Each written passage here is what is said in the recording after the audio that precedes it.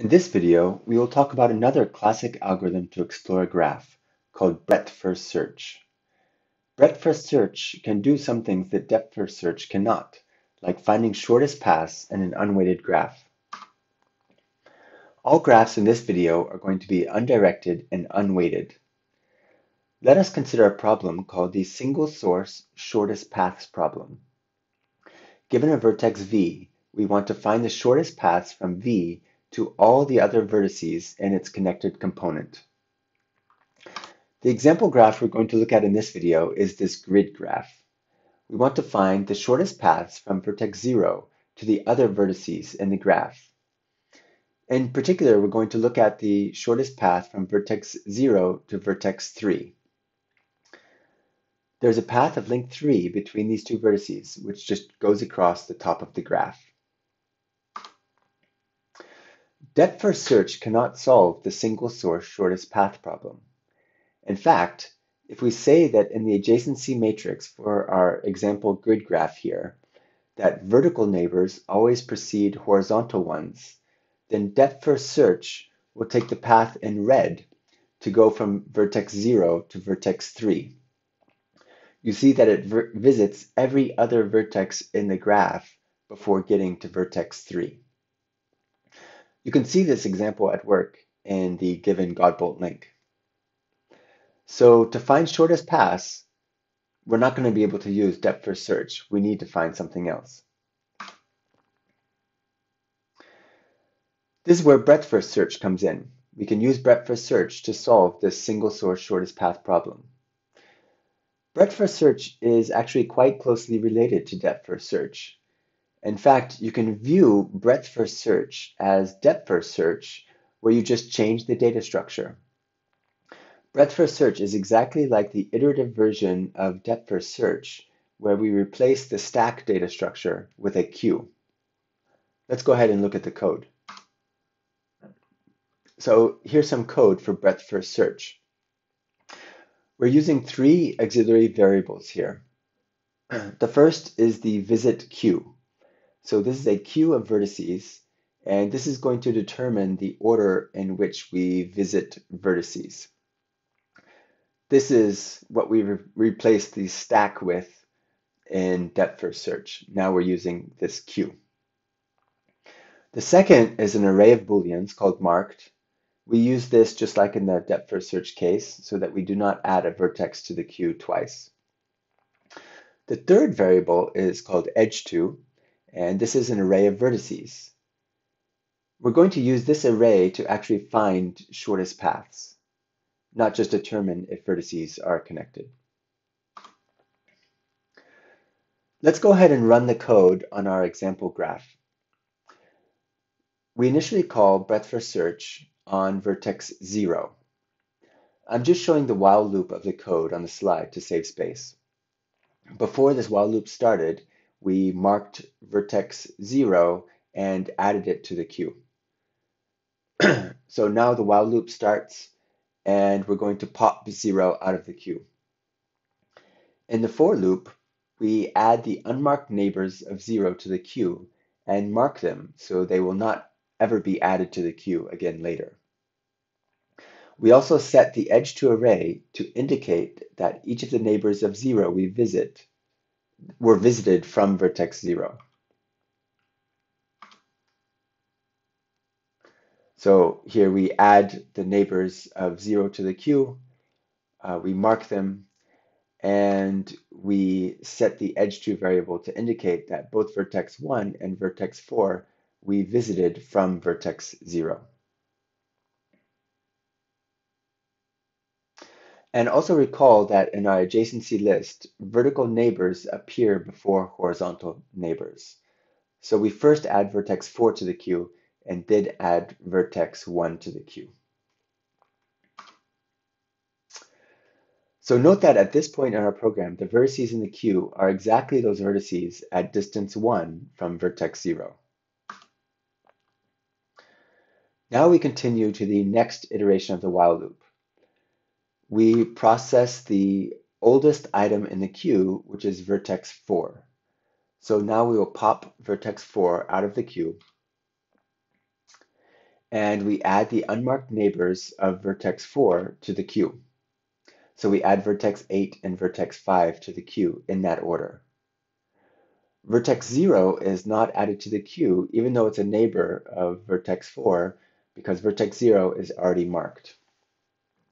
So note that now all the vertices in the queue are either at distance 1 or 2 from vertex 0, and those at distance 1 come first. Okay, now we move on to the next iteration of the while loop, and we process the oldest item in the queue, which is vertex 1.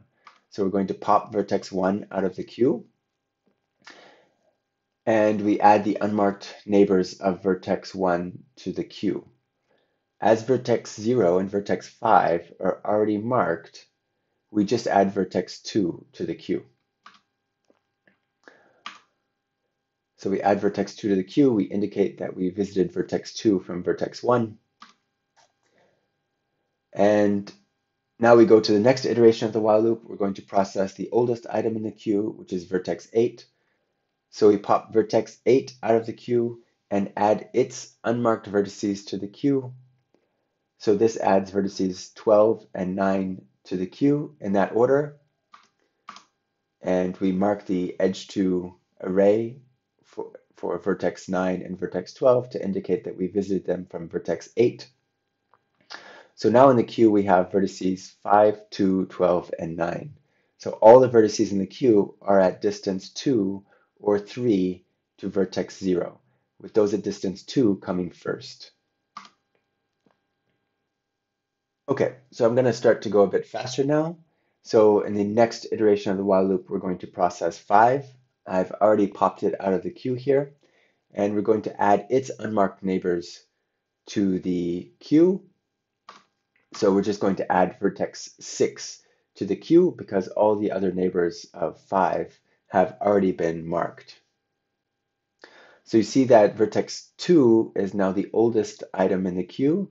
So that's what we're going to process next. So we pop vertex 2 out of the queue. We add its unmarked neighbors to the queue. So that's vertex 3. We indicate that we arrived at vertex 3 from vertex 2. And now we've actually found a path of length 3 from vertex 0 to vertex 3. So we found the shortest path from vertex 0 to vertex 3. Let's go ahead and see how we can reconstruct this path.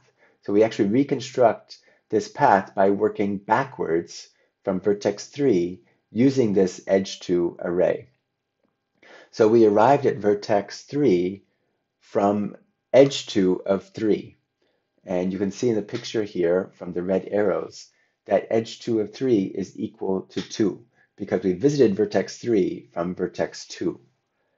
and now we arrived at vertex 2 from edge 2 of 2, and that's equal to uh, vertex 1. And finally, we arrived at vertex 1 from edge 2 of 1, which is equal to 0. Okay, so we can use this edge to array to trace our path backwards to actually find the shortest path from vertex 3 to vertex 0. So now we have our shortest path. It goes from vertex 0 to vertex 1 to vertex 2 to vertex 3. Now let's uh, step back and look at some general properties of breadth first search. So say that we run breadth first search starting on vertex v. Let's see that this actually solves the single source shortest path problem for vertex v. So the claim is that for any vertex u that is connected to v, tracing back the edge 2 relationships starting from u and then edge 2 of u, etc., will give us a shortest path from vertex v to vertex u. So as we saw in this example, vertices enter the queue in order of their distance from v, and this is the key property of breadth first search. We added all, this, all vertices at distance k from v before adding any vertex at distance k plus 1 from v. So you can actually use this property to show the fact by induction. So essentially this property is going to mean that we will always discover u from its neighbor that is closest to v. In a connected graph, like in our example, the edge2 array is always going to define a tree. So here I've drawn in red an edge between u and edge2 of u for every vertex u that is not zero. So you see that this will define a connected graph with n minus one edges, right? Because we have an edge between u and edge two of u for every u that is not zero. So that gives us n minus one edges. And there's a connected graph on n vertices with n minus one edges, so it's a tree. So this tree is a very useful object because it's actually what's called a shortest path tree. The path in this tree between vertex 0 and any other vertex will be a shortest path between these vertices in the original graph. Now let's talk about the running time of breadth first search. So we can reason about the running time of breadth first search in a very similar fashion to what we did for, for depth first search. We only ever add unmarked vertices to the queue. And once we add them to the queue, then we mark them. So this ensures that each vertex is added to the queue at most once.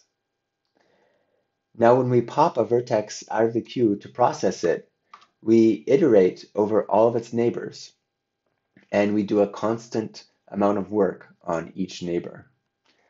So in the adjacency list model, this can be done in time proportional to the degree of the vertex. So thus the total time that we spend is going to be the sum of the degrees over all the vertices visited, which is proportional to the total number of edges in the connect connected component that we explore. Just like with depth first search, we can wrap breadth first search into another loop in case the original graph is not connected. So once we finish exploring the connected component of one vertex, if there's still a vertex that is unmarked, we can find it and run breadth first search on, on that vertex and just keep repeating this process until all vertices in the graph are marked. In this way, we can ex explore all the connected components of the graph. And the running time of this procedure becomes order the number of vertices plus the number of edges.